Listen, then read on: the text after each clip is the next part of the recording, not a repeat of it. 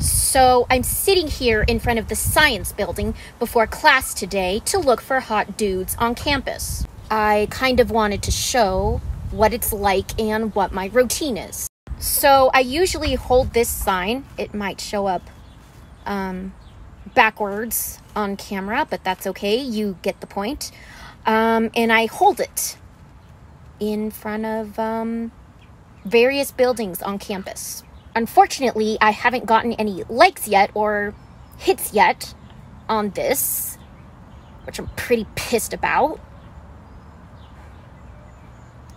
It's like,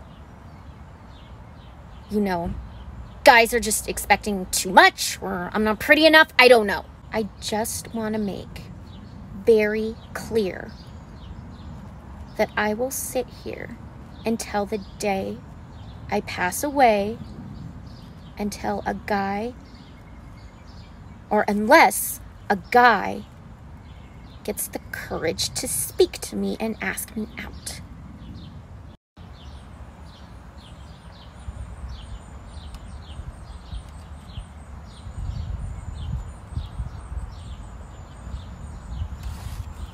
Huh? What do you mean I'm soliciting? I'm not soliciting. I have rights and I have a right to be here.